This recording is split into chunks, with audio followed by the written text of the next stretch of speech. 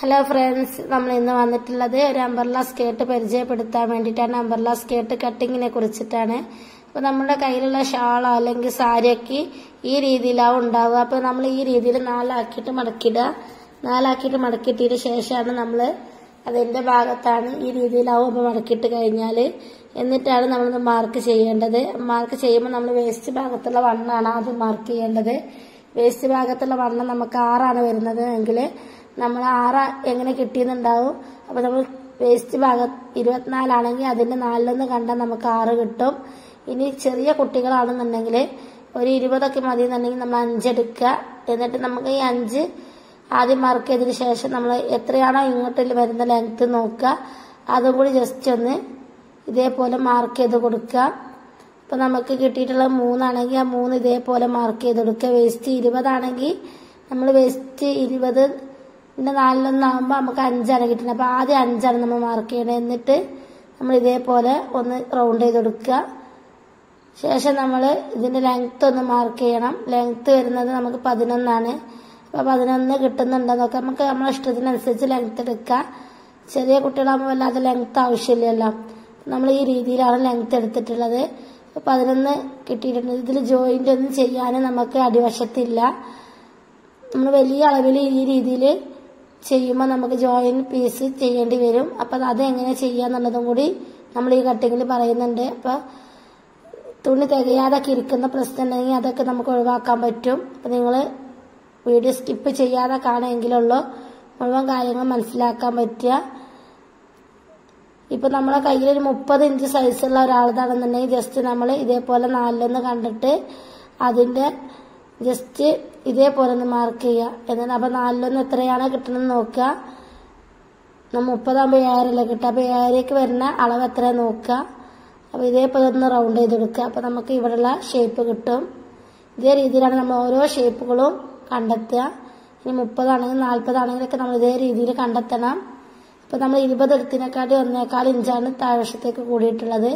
ഇനി നമുക്ക് ഈ ഭാഗം ഒന്ന് കട്ട് ചെയ്തെടുക്കുക. ഇനി നമുക്ക് ഈ കട്ടിങ്ങിൽ ആകെ ശ്രദ്ധിക്കാനുള്ള ഒരു കാര്യമുള്ളൂ. ഈ രണ്ട് സൈഡൊന്ന് അറ്റാച്ച് ചെയ്ത് കൊടുക്കാണ്ടാവും. ഇതാണ്. ബാക്കിയൊക്കെ തയ്ച്ചത് നമ്മൾ ഇതിന് മുന്നേ ചെയ്ത വീഡിയോയിൽ കാണുന്നത് പോലെ തന്നെയാണ് തയ്ക്കേണ്ടത്. ഇനി നമ്മളെ കയ്യിലുള്ള ഒരു കോട്ടൺ ഷാൾ ഉപയോഗിച്ചാണ് ജസ്റ്റ് നിങ്ങളെ കാണിക്കാൻ വേണ്ടി മാത്രമാണ് നമ്മൾ ഒരു സ്കേർട്ട് തയ്ക്കുന്നത്. അത് എന്തിനാ ചോദിച്ചാൽ നമ്മൾ ഇതേ സെയിം സ്കേർട്ട് തന്നെ നമ്മൾ സാരിയിലും ഷോളിലും വരുമ്പോൾ നല്ല നീളമുള്ള ആളുകൾക്ക് ലെങ്ത്ത് കിട്ടൂല അല്ലെങ്കിൽ വീതി കിട്ടൂല. അവർക്ക് വേണ്ടിയിട്ട് എങ്ങനെയാണ് ഈ അമ്പർല സ്കേർട്ട് നല്ല പെർഫെക്റ്റ് ആയിട്ട് നല്ല രീതിയിൽ കിട്ടുക എന്നുള്ളതാണ് നമ്മൾ നോക്കുന്നത്. അപ്പോൾ ഇതേപോലെ തന്നെ നമ്മൾ ഫസ്റ്റ് തുണി ചെയ്ത പോലെ തന്നെ നാലാക്കി മടക്കിയിടുക എന്നിട്ട് അരവണ്ണം മാർക്ക് ചെയ്യുക. അപ്പോൾ ഇത് നമ്മൾ ഇരുപത്തിനാല് സൈസിന്റെ ആളാണ് മാർക്ക് ചെയ്യണം അപ്പോൾ ഇരുപത്തിനാലാകുമ്പോൾ ആറാണ് വരിക. അപ്പോൾ ഈ ആറിലോട്ട് നമുക്ക് എത്താൻ എത്ര ലെങ്ത് വേണം നോക്കുക. അപ്പോൾ ജസ്റ്റ് അതും കൂടി ഒന്ന് മാർക്ക് ചെയ്യുക. ഇതേപോലെ നാലേക്കാൽ ആവശ്യമായിട്ട് വന്നിട്ടുണ്ട്. അപ്പോൾ നമുക്ക് ആ നാലേക്കാൽ രണ്ട് സൈഡിൽ നാലേക്കാൽ മാർക്ക് ചെയ്തു. അപ്പോൾ നമുക്ക് ഈ ഭാഗത്തോട്ട് ആറിഞ്ച് കിട്ടുന്നുണ്ടോ നോക്കണം. അപ്പോൾ നമ്മൾ ഇതേപോലെ റൗണ്ടിൽ നാലേക്കാൽ മാർക്ക് ചെയ്തിട്ട് ഷേപ്പ് ചെയ്ത് കൊടുക്കുക ഇനി നമ്മൾ ഒന്നിങ്ങനെ പിടിച്ച് നോക്കിയാൽ നമുക്കറിയാം. നമുക്ക് ഈ നമുക്ക് പത്തൊമ്പത് ഇഞ്ച് ഇറക്കം കിട്ടണം. പക്ഷേ ഈ തുണിയിൽ പത്തൊമ്പത് ഇഞ്ച് ഇറക്കം കിട്ടൂല. ഒരു സൈഡിൽ മാത്രമേ ഉള്ളൂ. പത്തൊമ്പത് ഇഞ്ച് ഇറക്കം കിട്ടുക. അപ്പം നമ്മൾ എങ്ങനെയാണ് ഇത് ജോയിൻ ചെയ്യുക എന്നുള്ളതാണ് നോക്കുന്നത് ഇത് ഇതിപ്പോൾ ഒരു ഷോളാണ്. ഇനി സാരി ആണെങ്കിലൊക്കെ ഈ മിസ്റ്റേക്ക് വരും. ചെറിയ കുട്ടികൾക്ക് നമ്മൾ ഫസ്റ്റിൽ ചെയ്ത പോലെ ആ പ്രശ്നം വരില്ല അവർക്ക് രണ്ട് സൈഡും ജോയിൻ ചെയ്ത് കൊടുക്കാൻ മാത്രമേ ഉണ്ടാവുള്ളൂ. ഇത് നമ്മൾ ഇതിന് മുന്നേ ചെയ്ത ഒരു ഫ്രോക്ക് ഉണ്ട്. സെന്ററിൽ മാത്രം കട്ടിങ് വരുന്ന ഒരു ഫ്രോക്ക് നമ്മൾ ഈ വേസ്റ്റ് ഭാഗം മാത്രം കട്ടിങ് ചെയ്യണ. അതിലും നമുക്ക് ഇതേപോലെ ജോയിന്റ് കൊടുക്കാണ്ട്. അപ്പോൾ എങ്ങനെയാണ് അത് ജോയിൻ ചെയ്യുക എന്നുള്ളത് നിങ്ങൾ കണ്ടു നോക്കുക. ഇനി നമ്മൾ പത്തൊൻപത് മാർക്ക് ചെയ്തിട്ടുണ്ട്. ഈ പത്തൊൻപത് മാർക്ക് ചെയ്തിട്ട് നമ്മൾ ഈ ഭാഗത്ത് ഇതേപോലെ ഒരു തുണി മാർക്ക് ചെയ്ത് കൊടുക്കുക. ഇതേപോലെ തുണി വെച്ചെടുത്ത് കഴിഞ്ഞാൽ നമുക്ക് ഈ ഭാഗത്തേക്ക് പത്തൊൻപത് കിട്ടണം. തുണി മാർക്ക് ചെയ്യുമ്പോൾ നാല് പീസ് തന്നെ വേണം തുണി. ഇനി ഈ കോർണറിൽ നിന്ന് നമ്മൾ പത്തൊൻപത് കിട്ടുന്നുണ്ടോ നോക്കണം. എല്ലാ സൈഡിലും പത്തൊൻപത് കിട്ടിയതിന് ശേഷം നമ്മൾ ജസ്റ്റ് ഒന്ന് വരച്ചു കൊടുക്കുക. എങ്കിലുള്ളൂ നമുക്കിത് കറക്റ്റായോ എന്ന് മനസ്സിലാക്കാൻ പറ്റുക. ഇനി നമുക്കിതൊന്ന് കട്ട് ചെയ്തെടുക്കുക.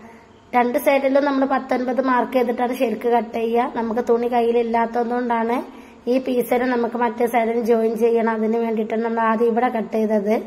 ഇനി നമ്മൾ മറ്റേ സൈഡിലൊന്ന് ജോയിൻ ചെയ്തെടുക്കുക. നമുക്ക് സെന്ററിൽ അതിന്റെ ആവശ്യമില്ലല്ലോ. ഈ ഭാഗത്ത് നമുക്ക് അതിന്റെ ആവശ്യം വരുന്നില്ല. നമുക്ക് ഈ സൈഡിൽ ആവശ്യമുണ്ട്. അപ്പോൾ അവിടെ നമ്മൾ ഈ കട്ട് ചെയ്ത പീസിൽ നിന്ന് നമ്മൾ അവിടേക്ക് പീസ് കണ്ടെത്തണം. അപ്പൊ നമ്മൾ ഇതേ രീതിയിൽ ജസ്റ്റ് പത്തൊൻപത് കിട്ടുന്ന രീതിയിൽ വേണം നമ്മൾ മാർക്ക് ചെയ്യാന് ഇത് കോട്ടൺ തുണി ആയതുകൊണ്ടാണ് നമുക്ക് പിൻ ചെയ്ത് കൊടുക്കേണ്ടത്. അല്ലാന്നുണ്ടെങ്കിൽ നമ്മൾ ഈ രണ്ട് തുണികളും നമ്മൾ ജോയിന്റ് ചെയ്യണം. ഇതൊക്കെ നമ്മൾ പെർഫെക്റ്റ് ആയിട്ട് കഴിഞ്ഞ വീഡിയോയിൽ ചെയ്തിട്ടുണ്ട്. അപ്പൊ നിങ്ങൾ കാണാത്തവരുണ്ടെങ്കിൽ അതൊക്കെ ഒന്ന് കണ്ടു നോക്കുക. ലിങ്ക് ഡിസ്ക്രിപ്ഷനിൽ ഉണ്ടാവും. നമ്മളെ സെന്ററിൽ വരുന്ന കട്ടിങ്ങിന്റെ വീഡിയോ നമ്മൾ പറഞ്ഞല്ലോ. അത് ഡിസ്ക്രിപ്ഷനിൽ അപ്പോൾ നിങ്ങൾക്ക് എന്തെങ്കിലും സംശയമുള്ളവര് കണ്ടു നോക്കുക അതിന്റെ സ്റ്റിച്ചിങ്ങും ഉണ്ടാവും. ഈ പീസ് എങ്ങനെ ജോയിൻ ചെയ്യാനുള്ള സ്റ്റിച്ചിങ്ങും നമ്മൾ ചെയ്തിട്ടുണ്ട്. അപ്പോൾ അതും കൂടി ചെയ്ത് നോക്കുക. ഇനി നമ്മൾ ജസ്റ്റ് ഒന്ന് ഇതൊന്ന് വെച്ച് നോക്കണ്. അപ്പൊ നമുക്ക് നല്ല പെർഫെക്റ്റ് ആയിട്ട് തന്നെ കിട്ടിയിട്ടുണ്ട്. ഇനി നമുക്ക് ഈ നിന്ന് നമ്മൾ വേസ്റ്റ് ഭാഗം ഒന്ന് കട്ട് ചെയ്തെടുക്കുക. റൗണ്ട് ഷേപ്പ് ഇത് കട്ട് ചെയ്ത് കഴിഞ്ഞാൽ നമുക്ക് രണ്ട് പീസായിട്ടാണ് തുണി വരിക. നമ്മളിതിന് മുന്നേ ചെയ്തത് ഫുള്ള് ഒരൊറ്റ പീസിലാണ് തുണി വരിക. മുകളിലൊന്നും കട്ടിങ് ഇല്ല താഴ്വശത്ത് മാത്രമേ കട്ടിങ് ഉള്ളൂ. ഇത് താഴ്വശത്തും കട്ടിങ് ഉണ്ട് സൈഡിൽ രണ്ട് സൈഡിലും ഒന്ന് അറ്റാച്ച് ചെയ്ത് കൊടുക്കും വേണം. ഈ കട്ടിങ് ഈ രീതിയിലാണ് ചെയ്യുക. അപ്പൊ നമ്മൾ ഈ രണ്ട് സൈഡിൽ നിന്ന് അറ്റാച്ച് ചെയ്ത് കൊടുക്കണം എന്നിട്ട് മാത്രമേ ഉള്ളൂ നമ്മൾ ഇതിന്റെ ബാക്കിലുള്ള ജോയിൻ പീസ് ജോയിൻ ചെയ്ത് കൊടുക്കാൻ പറ്റുള്ളൂ. നമ്മൾ താഴ്വശത്തുള്ള ജോയിൻ പീസ് ജോയിൻ ചെയ്യണല്ലോ.